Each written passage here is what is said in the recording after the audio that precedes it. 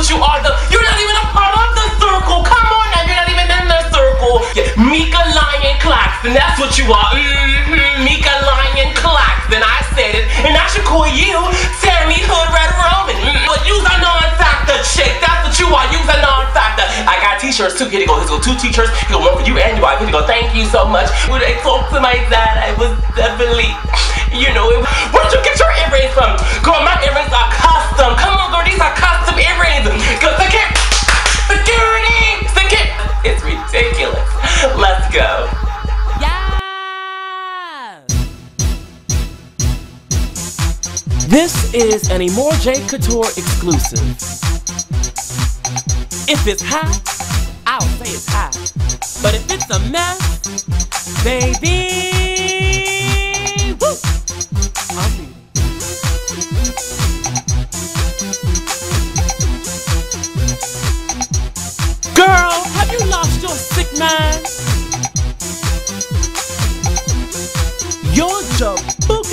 behind. Basketball Wives Season 3. Let's just go ahead and get right into it. Now, I'm going to start with each person that was on the panel because the, reunion just pretty much passed. It was on part 1 and part 2 is coming up. So I just want to go ahead and just jump right into this. Let me pick a girl. Yeah, notice I didn't say a, a lady. Let me pick a, a girl for you. Let's start with Evelyn.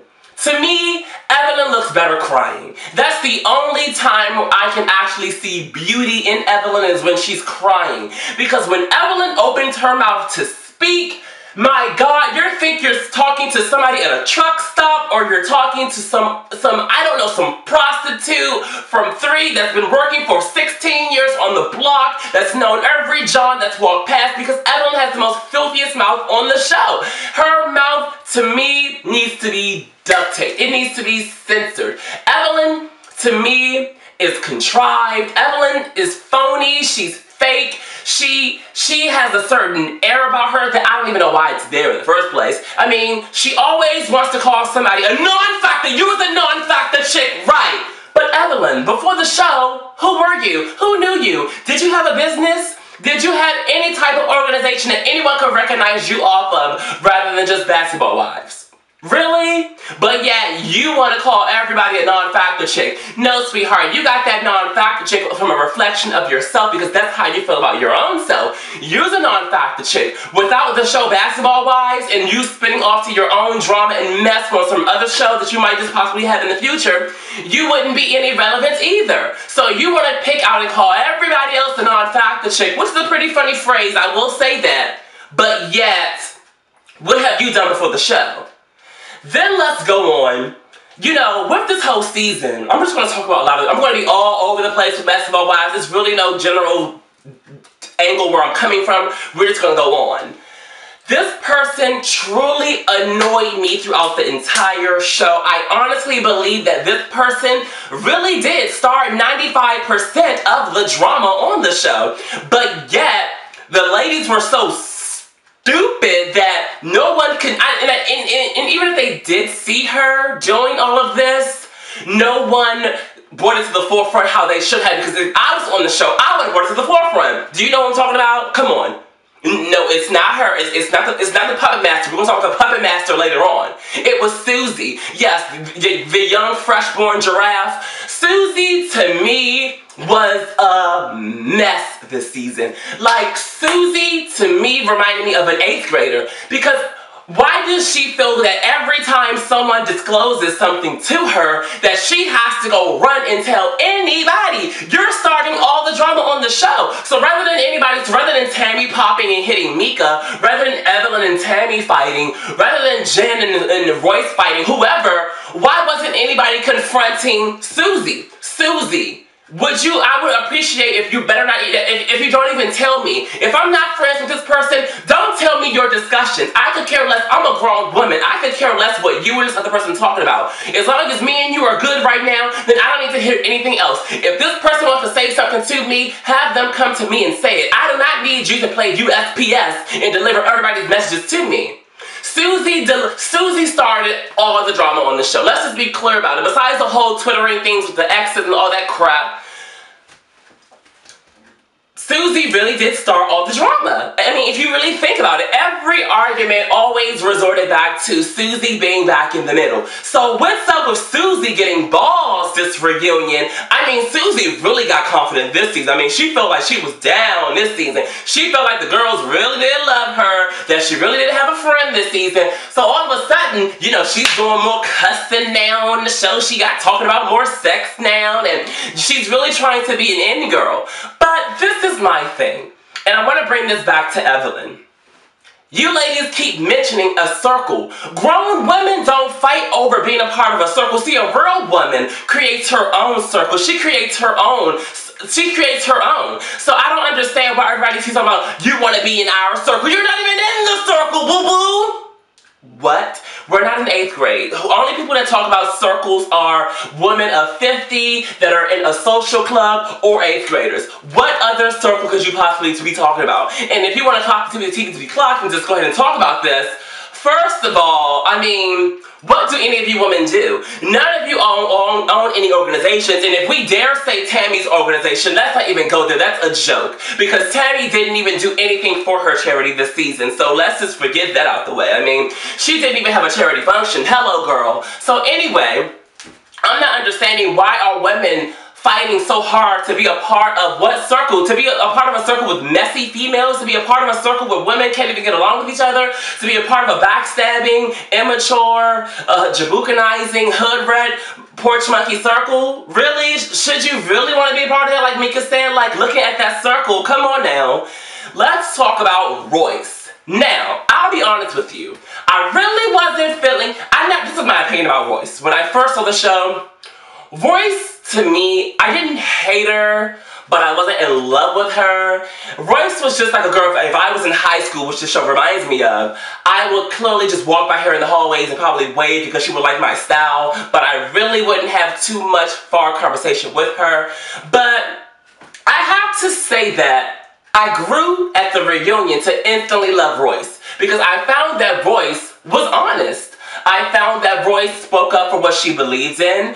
I felt that Royce you know, she stood up to people that nobody was stood up to. She stood up to the puppet master, aka Shaunie. She stood up to Evelyn. Tami, if this is really your personality off of the show, I really advise that you seek counseling because beyond the ha-ha kiki, I really think that you have a lot of anger management issues that you need to address and you also need to address the issue of your consumption of alcohol because clearly I think you get a lot of alcohol carriage that you just totally just make a mess of yourself. Now, let me just go ahead and talk about Meeka. Wow. You know what? I'm like this with Meeka because I'll be on I'll be some a little bit honest with Tami and say that she did give Tami plenty of opportunity. Well, Tami did give Meeka plenty of opportunities to say what she had to say and things right there in front of Tami, but I kind of think that Meeka wanted to play the cordial role as to just kind of not giving her her real opinion, but kind of giving her that, oh, you, you cool, you kind of, you, you, you cool, you this and that, whatever. But I felt that Meeka did go about it the wrong way as she entered the show because she entered the show in an 8th grade way as well, trying to see which side she wanted to be on. And I feel that you didn't need to do that. Just go on the show, like Tami said, be yourself. Who cares if you're on Evelyn's squad? Who cares if you're on the Susie Royce squad? Just do you, boo. Like, there is... What side would you want to be on? I mean, clearly none, none of them are elite if you want to know the realty, but just be yourself. I felt that you were trying really hard to be on this side or on that side as to where sometimes not condoning violence, but I understand why you got the drunk Tami so upset as to where she did hit you. Because it was like you were just all over the place with that. Just do you. Bam, prime example. Let's talk about the Puppet Master. If anybody notices, if you watch the reunion, Shaunie didn't say a word. And if I'm wrong, you can sit there and clock me, but she sat there with that Keri Hilson flip the whole time in her head and sat there and just snickered and grinned like three old white ladies watching three old black women fight and argue in the park. Shaunie did not say anything. Shaunie just sat there and played her strings Hello, played the strings exactly how she orchestrated it. Shaunie, to me, wants to play the whole role of mature, wants to play the role of, you know, this is a, you, as woman, I am truly shocked that, that they were fighting like this. I couldn't believe they did that. Like, you know, she, she did this little nose thing. I, I couldn't believe, I couldn't do, do the nose thing, she does this little rat face that just irks me. But she played this whole little role that she was shocked about anything that popped off. And so when Tami and Meeka started fighting, she was shocked. When Jen and, and Royce got that, she, she was shocked. How can you be shocked if you set it up, Miss Producer? I mean, I'm not going to hate on you because you honestly did get your money. You got your coin, girl. But at the same time, when you compare yourself to Oprah, clearly don't make the mistake because you're nobody's Oprah. You're not promoting black women being successful. You're not promoting black women being black women being educated. You're promoting a bunch of junk food. So for you to sit back and get upset when the critics call your show messy and you're, you know, degrading black women, all those things that all the critics have been saying about you in the magazines, it's true. But if you want to be so bold how you supposedly are trying to be on your show, why not just accept the fact that you put out some mess, you put out a real show that's just plain junk food, that's just plain trashy, and accept the fact. I mean, I would respect you more if you say, yeah, girl, I got a real messy I just put out, I better tone into it, not try to cover it up and say, I have a show that's going to show the lifestyle of basketball wives and African American women, how we so. Girl, please. Girl, please. It was messy. Shaunie, you really did orchestrate a lot of the mess on the show too. You and Susie could have been best friends because you two started a lot of the issues on the show. But you being executive producer, you had to give a social. I respect you for being a businesswoman. I do respect you. I may not respect that shoe line that's coming up because it may be a little bit messy, but I will respect you. Let's talk about some of the highlights from the show. Let's talk about the, the, the thing that just everybody's talking about, the drink thrown in the face. Now, when I first saw it, the way they edited it on TV, I felt sorry for Jen. I was like, oh my god, I can't believe this dude just threw. And to be honest, you could tell that he wanted to bust her upside the head with that glass because he didn't just throw the drink. He didn't just like slam it like that. He like took the glass and like tried to knock her teeth out of her mouth. Like he really could have hit her upside the head with the cheap margarita glass. So, oh my gosh. But once I saw what really played out, Jen brought that on herself. I'm not saying that he should have did that because he should, well, you know what, he should have. Because if you had the galls and the balls to throw your glass at him and your drink, you have to understand that you're playing with a real dude, you're playing with a real hood guy. So if you're gonna throw something at him, be prepared for the consequences. I mean, he's not gonna be politically correct, he's not going to be cordial about things, he's going to hit you back. So when he threw the drink in your face, yes, girlfriend, you needed to be cooled down. I don't condone men hitting women, but at the same time, if you're gonna hit, put yourself out there and hit, a man and throw something at a man, then you have to be, be prepared for him to throw something back at you. I mean, what? You you you put out you put out what you you get back what you put out, pretty much. Let's talk about the whole Chad and and Evelyn. Did you really think you were gonna last? I mean, Evelyn, you truly have some ins you truly have so many insecurities that it shows so much on the show. Like, to me, you baby, you need a hug, you need a friend, you need to talk to your daddy some more because you are a mess. You are internally broken. You are hurt inside. You remind me of the chick from the Addams family that was doing babysitting that was trying to find a man. What was her name? Miss Debbie! Deborah, you remind me of Debbie from the Addams family. You are truly broken inside. You need help because every do you really think that this relationship with Chad is going to work with, with, with all your insecurities? You think that you trying to control this man's life is really going to keep him? Girl, please. What's another highlight from The Basketball Wives? Uh, oh, yeah, how can I forget? Meeka and Tami fighting? Oh my god. Meeka and Tami, now, you know what? I don't know what to say about that because I don't know what to say whether she brought on herself. I don't I don't even know what to say. What do you guys think about that? Because I, I don't know. I'm just like so much at all how she pow, hit her upside the head. I'm just lost on that. I think that Tami needs self-control. Tami really needs to evaluate herself. Like I said, she needs to really seek a counselor because if that's who you are off of the show, you really need help. The whole Basketball Wives situation to me in conclusion is it's mindless entertainment. It, you can't learn anything from it. You can't take anything from it and actually apply it to your everyday life except if you want to learn how to cuss somebody. And use a non-factor chick. Use a non- That's what you are. Mm-hmm. Don't rip my. Don't rip my Evelyn. Oh yeah, what's up with that? What's up with Evelyn and all of a sudden Evelyn and Tami all of a sudden they they sister girl, they best friends.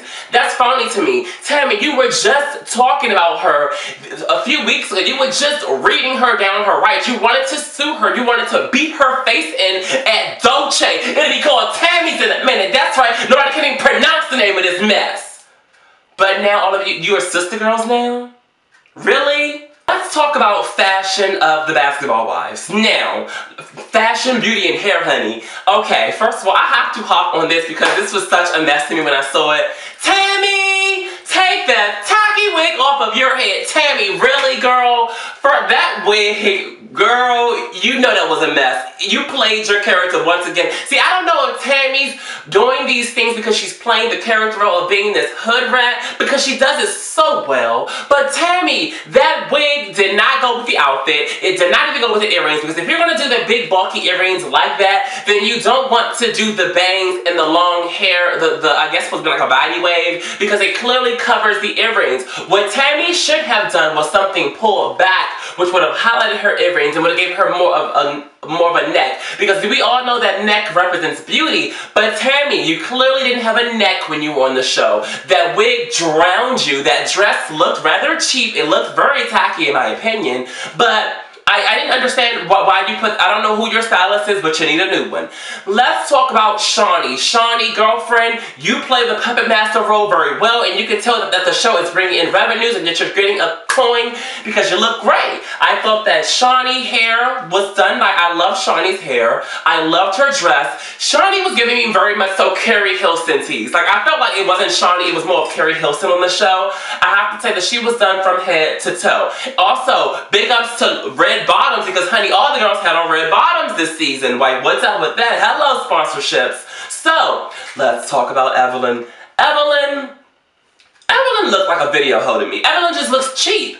I mean, Evelyn, uh, like I said, Evelyn only looks good when she's crying to me. The dress looked very cheap. Her shoes didn't match her, the shoes did not go with the dress. The hair to me was very flat. I would have appreciated if she would have done much more of a a curl type of style, something curly in her hair, more volume. She definitely needed more volume with her hair because to me, clearly it wasn't there. I didn't like that straight, um, she reminded me of some type of female that you would see like in the background in the bar scene bent over like in a Ludacris or Mystikal video. That's what she was giving me. Like, I think that for her age, she does a little bit too much. She needs to class it up, grace it up, and clean up her mouth. Now, on to Meeka. Meeka I liked her hair. I thought her hair was done nice. I think Meeka does great with her um her blowouts and her body wave that she did with her hair.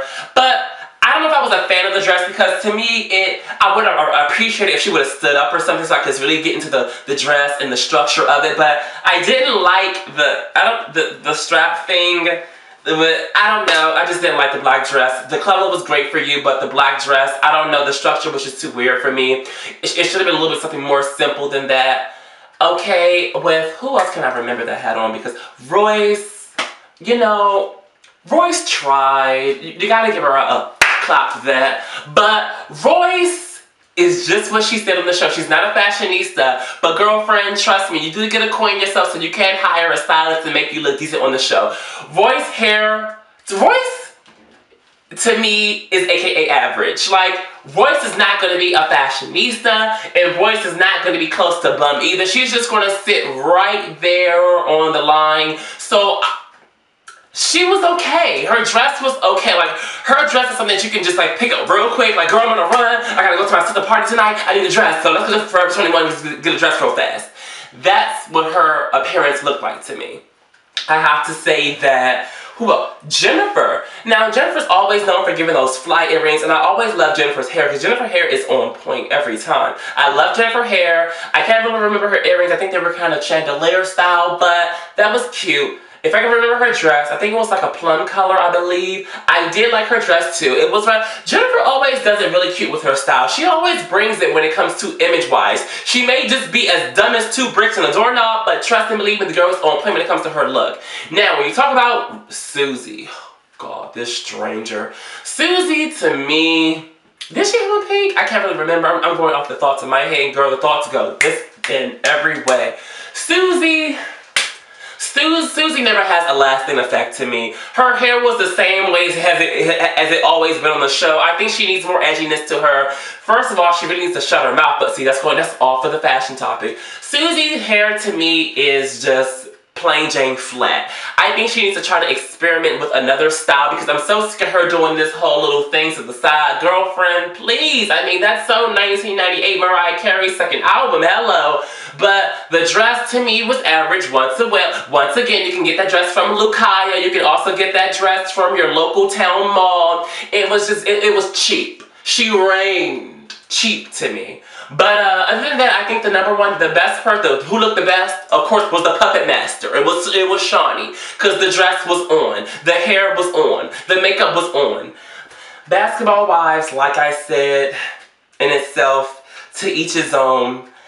I don't understand why women are fighting so hard to be a part of a, a, a circle. I'm so sick of hearing that word circle because it's not like it's a Michelle Obama social club or it's not like it's some type of Elizabeth Taylor club where you're around elite, classy women because all of these, at the end of the, end of the day, they all display hood rat content. So I'm not understanding how people are just fighting so hard to be. The whole show was based around being a part of a clique being a part of a circle. And i'm sitting there like what? So i don't see the i don't see it what circle are you people trying to formulate? Because it's it's clearly not there. It's messy. You all are not representing women that any woman from the outside that has some sense would want to be a part of. Oprah would not want to be a part of anything you women are conducting. No one wants to be a part of the drama, the immature acts, the juvenile display of affection, of, of, of hate towards your sister. Nobody wants to be a part of anything like that. And I have to agree with a lot of what Meeka said. I think that Meeka does have a lot of sense. She did go about her things the wrong way, but she does have a lot of sense as to what she said, who would really want to be a part of of a circle like this. I, I like Meeka, but then I just, I understand that Meeka did a lot of dumb things on the show, but you gotta forgive her. She lived as she learned. Move on. Don't keep milking it with the interviews about Tami. Just move on. Start your thing. I think that you have a great mind and you know how to use it. But I'm just clearly going to wait around for season two to see where this goes and see if actually Shaunie's going to open her mouth. Because if you if you if you look at the show, Shaunie's not saying a word. She's just over there laughing with the host, which is totally just dry to me. He's so lame. What's, what is his name? John. John, you're you're whack. You're so lame. You're a bad host. I, don't even understand why they have you up there in the first place. I'm waiting for Gloria to give out her show because I like Gloria from the last season too. Gloria was real, honey. Gloria didn't like Shaunie and Shaunie, she let Shaunie know I don't like you it is what it is. Thank you, Gloria. I, I loved you. I can't wait to see what you do with Basketball Wives of LA. But anyway, that's what I have to say about Basketball Wives. If you guys know any more incidents that you don't understand, you want to talk about, talk about it in the comments because, girl, you know we can talk all day about this show. But anyway, this is Emore'J Couture and I'm signing out of here. Bye.